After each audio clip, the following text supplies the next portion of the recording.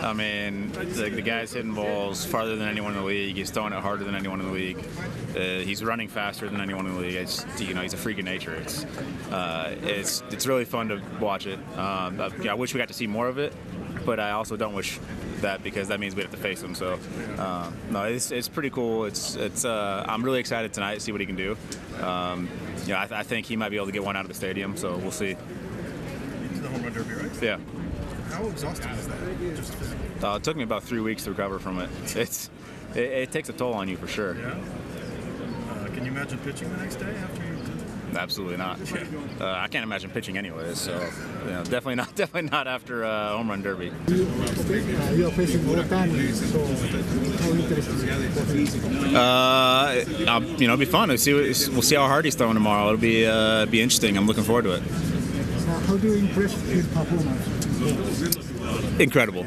Uh, really, really good. Um, really special what he's doing. Uh, you know, I, I hope he continues it in the second half. It'll be fun to watch. Yeah. Guys, I want to follow up real quickly on, uh, on Ohtani. You get to uh, you get to see him a little bit more than, than most being in close proximity.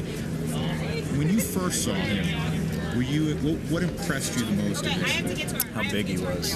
Um, you know, you see him on TV and you know you're like, oh, he's he's decent size, but you don't realize exactly how big he is.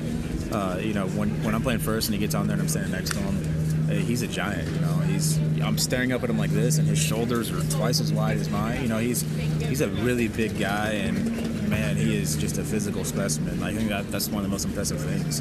You know, he, he hits the ball a long way, but then when he doesn't hit a long way, he's the fastest guy on the field. And you know, it's just it's really impressive what he's able to do. You've seen a lot of guys take BP, you can take impressive BP. Are there some guys where you you want to see him do it because it just looks different? Is he one of them? Uh, I've never actually seen him hit BP, but I've heard.